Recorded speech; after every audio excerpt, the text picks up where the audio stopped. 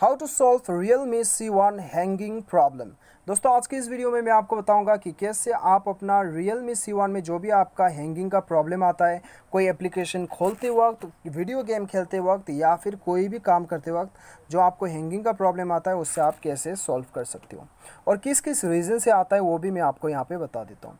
देखिए दोस्तों आपके मोबाइल में जो है आपका मोबाइल जितना एप्लीकेशन कंट्रोल कर पाएगा आपका मोबाइल जितना तक फ़ाइल जो है वो कंट्रोल कर पाएगा उससे ज़्यादा आप अपना मोबाइल में हाई क्वालिटी का एप्लीकेशन आप इस्तेमाल करते तब आपको ये प्रॉब्लम आ सकता है ठीक है?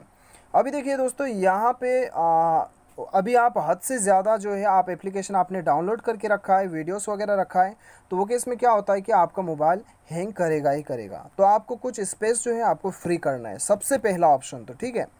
और दूसरा दोस्तों, यहाँ पे क्या करना है, आपको मैं बता दूँ कि हैंगिंग करने का प्रॉब्लम दोस्तों देखिए कोई कोई एप्लीकेशन आपके मोबाइल में सपोर्ट नहीं करता है, वो एप्लीकेशन आप अपने मोबाइल में रखते हैं तब आपको ये प्रॉब्लम आता है। और कोई कोई ऐसा एप्लीकेशन भी होता है जिसमें वायरस वगैरह होता है तो वो एप्लीकेशन रखने की वजह से भी आता है। तो आपको वो एप्लीकेशन आपको डिलीट करना है, ठीक है?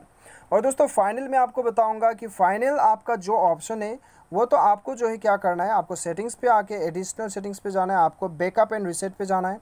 उसके बाद में दोस्तों, आपको यहाँ पे फैक्ट्री डाटा रिसेट करना है। और यहाँ पे जो है दोस्तों, आप जो है अपना सेटिंग को एक बार आप रीसेट कर दीजिएगा। कभी कभी सेटिंग जो है छेड़खानी होने की वजह से भी आपको हैंगिंग का प्रॉब्लम आता है। दूसरा दोस्तों, आपको क्या करना है यहाँ पे?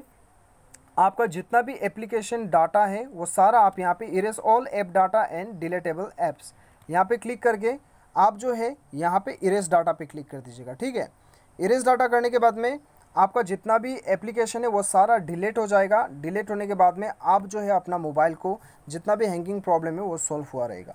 लेकिन दोस्तों, फिर यदि आप फिर से और भी ज़्यादा एप्लीकेशन और भी ज़्यादा हैवी ऐप चलाते हैं, तब तो आपको ये प्रॉब्लम आएगा ही आएगा, ठीक है? उम्मीद करता हूँ कि आपको वीडियो पसंद आया होगा। Thanks for watching